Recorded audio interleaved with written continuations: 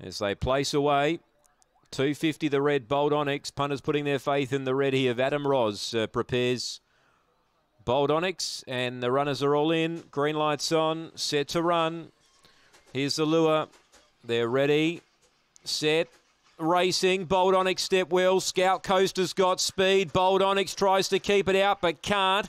And Scout Coaster gets two on Bold Onyx. Any Road ran to third. Then Galena Girl. Uh, bye bye Blues and Dramatic Diva last of all. Leader rolled off the rail. Scout Coaster is still a length in front. Bold Onyx can't get it at the moment. Scout Coaster's going too well here. Bold Onyx will run second again. Scout Coaster from Bold Onyx and Any Road. Dramatic Diva made headway, got fourth.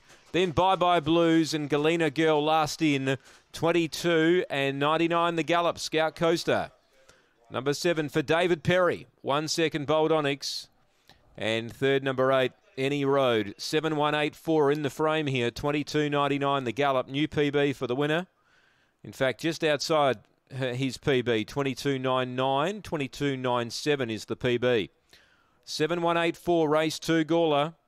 7184 take note relay. 7184 winners trained by David Perry. Bold Onyx every chance. Oh boy, he uh, he won't go around favourite again. Number eight third, four fourth. A length the margin after race two Gawler.